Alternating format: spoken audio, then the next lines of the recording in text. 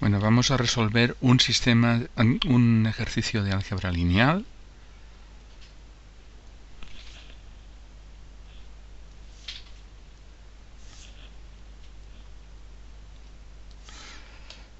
cuyo enunciado es el siguiente. Dado un sistema de ecuaciones lineales homogéneo, homogéneo quiere decir que los términos independientes son nulos, se pide Primero que determinemos eh, para qué valores del parámetro k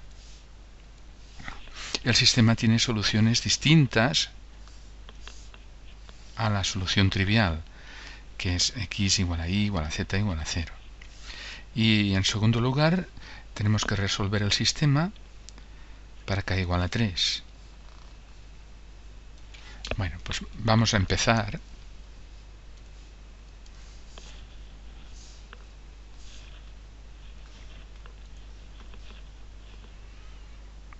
aquí la solución.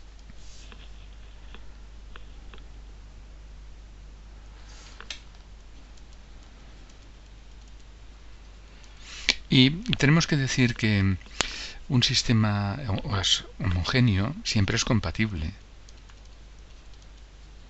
Un sistema homogéneo, los términos independientes son cero, siempre es compatible.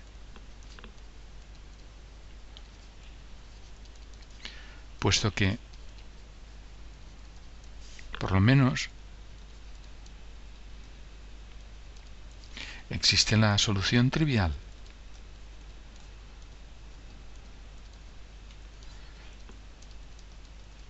que es la solución x igual a y igual a z, en este caso hay tres incógnitas, pero si tuviese más o menos incógnitas, pues todas valdrían cero. Claro porque si ponemos en el lugar de la x, de la y, de la z en cualquiera de las ecuaciones, el 0, pues se cumple la igualdad a 0. Es evidente.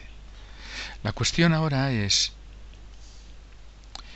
pero, ¿cuándo admite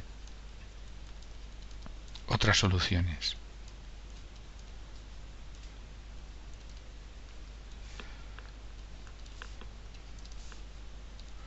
Bueno, es decir, la cuestión es el sistema homogéneo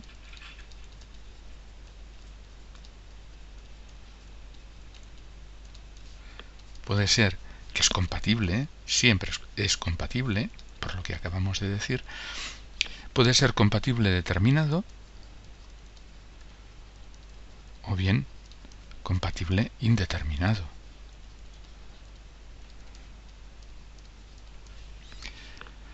Si es compatible determinado, solo admite la trivial de solución.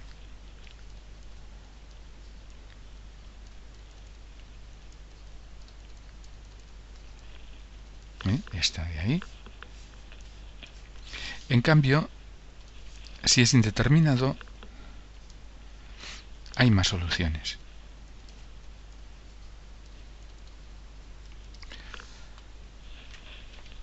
Muy bien, pues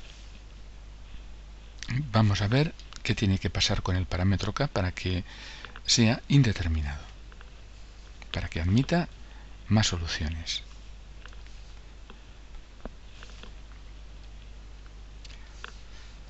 Fijémonos que para, según, según el teorema de Rouchet, Frobenius,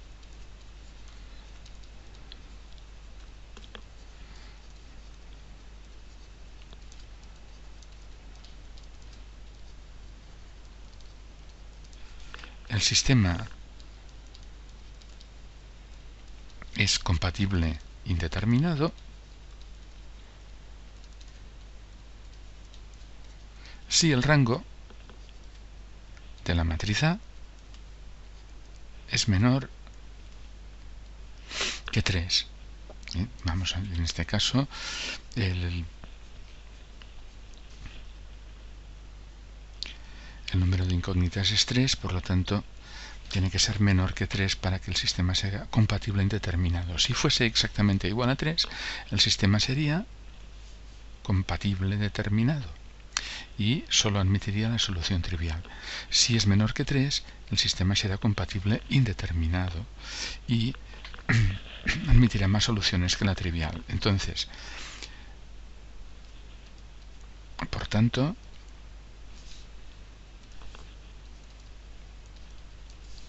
si sucede que el determinante de la matriz A es igual a 0. Porque, claro, la matriz A es la matriz de los coeficientes, es eh, una matriz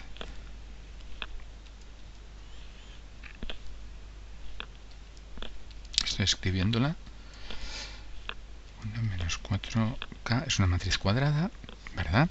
Entonces claro mm, si el rango tiene que ser menor que 3 es de orden 3 esa matriz pues el determinante tiene que ser igual a 0 bueno pues vamos a imponer impongamos que el determinante sea 0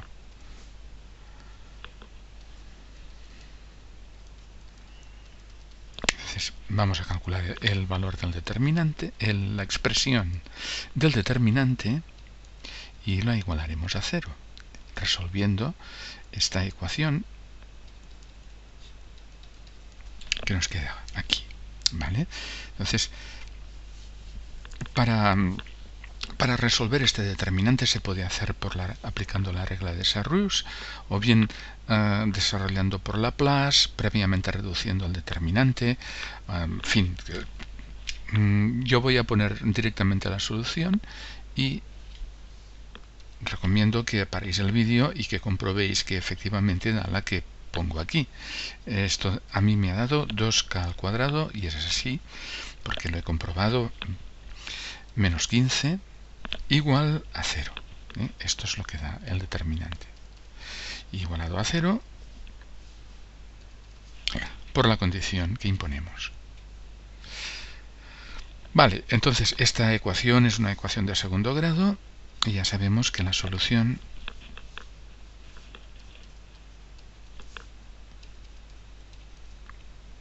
es la siguiente. Pues, eh, b es menos 1, pues menos menos 1 más menos raíz cuadrada de menos 1 al cuadrado menos 4 veces menos 15 por 2 partido por 2 por 2 ¿eh? y esto nos da 1 mm, más menos 11 porque nos da la raíz cuadrada de 121 partido por 4 y claro si cogemos el signo más pues nos da 12 partido por 4, 3. Y si cogemos el signo menos, nos da menos 10 partido por 4, que es menos 5 medios. ¿Vale? Estos son los dos valores que ha de tomar K para que el sistema sea compatible indeterminado. ¿Vale? Cuando es 0, K toma esos dos valores. Es decir, resumiendo, si K eh, toma valores en este conjunto formado por estos dos únicos números, entonces el sistema es compatible indeterminado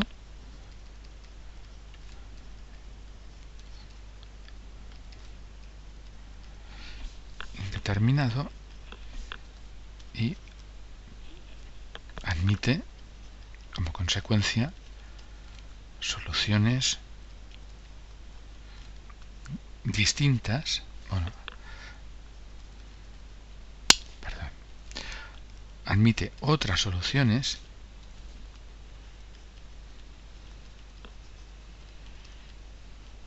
además de la trivial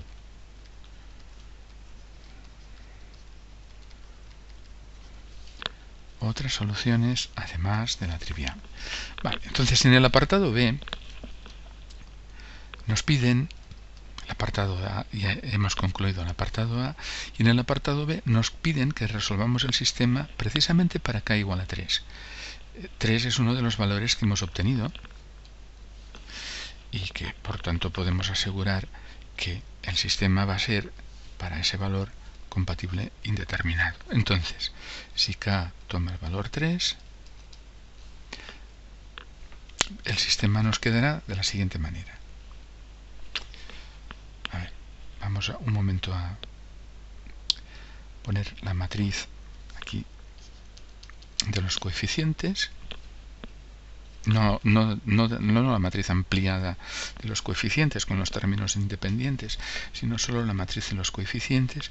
Sale 1, eh, k es 3, menos 1, 2, menos 1, 2, x, menos 4, ay, perdón, x, ¿qué digo? 1, eh, menos 4, y 3. Vale. Entonces, démonos cuenta que eh, evidentemente el determinante es 0. De orden, el determinante de la matriz de A es 0. Por eso el rango es menor que 3. Fijémonos en una cosa. Si cogemos la submatriz formada por estos elementos, el determinante formado de esa submatriz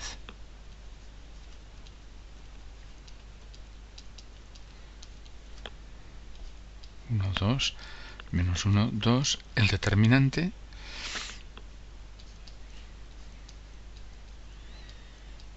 es 2 menos menos 1 por 2 es 4 y 4 es distinto de 0. Eso quiere decir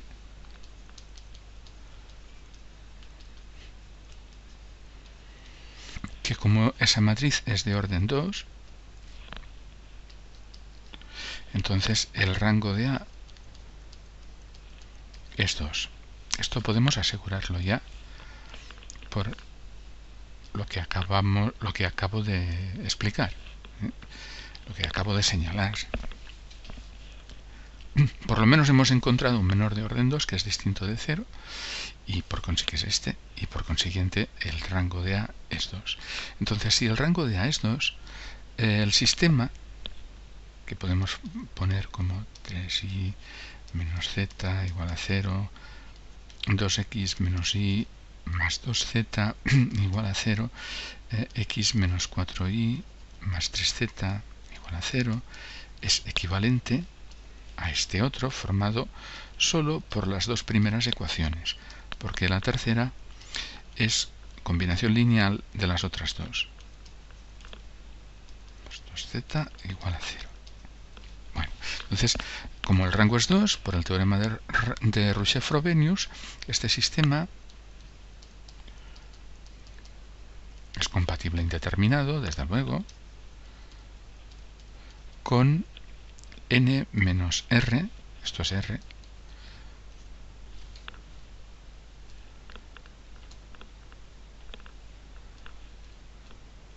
esto de ahí es r,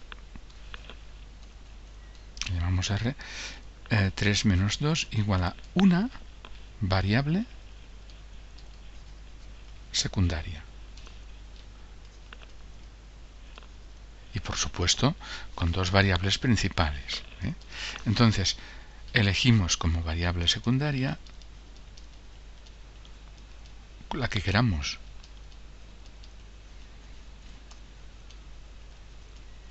La por ejemplo, z y por lo tanto hacemos z igual a lambda. Lambda será el parámetro al que vendrá referida la solución del sistema compatible indeterminado. Muy bien, entonces continuamos aquí.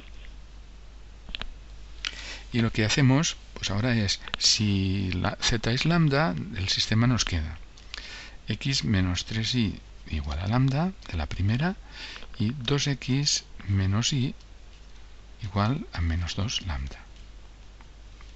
Este es el sistema que vamos a resolver habiendo puesto z igual a lambda. Vale, entonces vamos a reducirlo haciendo menos 2 por la primera ecuación más la segunda y poniéndolo en la segunda nos quedará aquí un 0.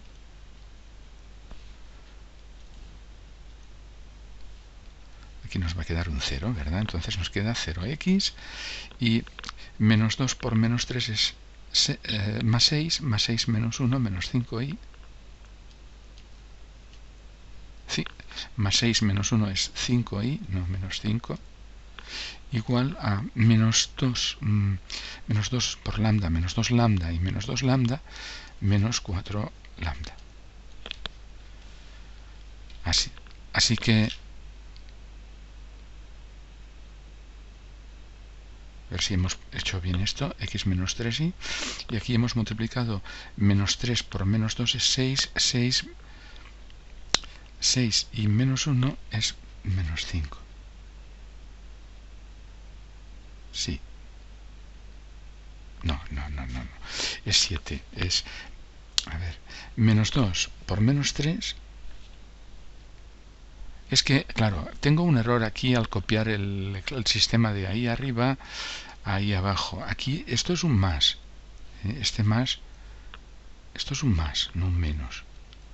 Por lo tanto, esto no queda un 5, sino que nos queda igual a menos 3 por menos 2 por 3 es menos 6 y menos 6 menos 1 menos 7 ahora sí, menos 7i igual a 4 lambda de la segunda ecuación despejando i nos da 4 séptimos de lambda.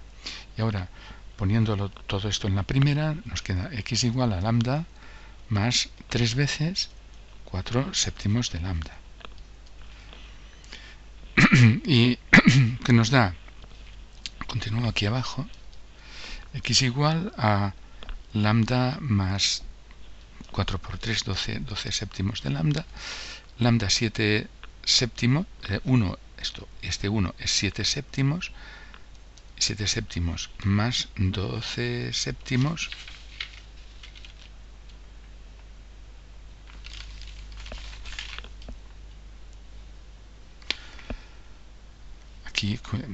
me ha vuelto a pasar lo mismo que tenía este signo más aquí y aquí lo había copiado como más. Y entonces esto tiene que ser un menos. ¿Eh? vale, lambda menos 3 por 4, 7 lambdas. Entonces esto es un menos. Menos, bien. O sea, que es igual a 7 séptimos de lambda menos 12 séptimos de lambda son menos 5 séptimos menos 5 séptimos de lambda. Esta es la x. x. Y esta es la y. Y la z es lambda. ¿eh? z es lambda. Por lo tanto, la solución viene dada por el, conjunto de infinitas ternas menos 5, 7 lambda 4 séptimos de lambda para la i y lambda para la z, donde lambda es un número real cualquiera y, y, por lo tanto, claro, como depende de un solo parámetro, estos son los puntos de una recta. Puntos de una recta en el espacio afín R3 en el espacio de tres dimensiones. Bueno, pues eso es lo que hemos obtenido como solución, además de la solución trivial, en el caso para k igual a 3. Hay infinitas ternas de estas que representan puntos en el, en el espacio afín. Y como dependen de un solo parámetro, esto designa una recta. ¿eh? ¿Vale? Bueno, pues hasta la próxima y espero que haya sido de utilidad este, este ejercicio. Aquí pongo el más, así. muy bien.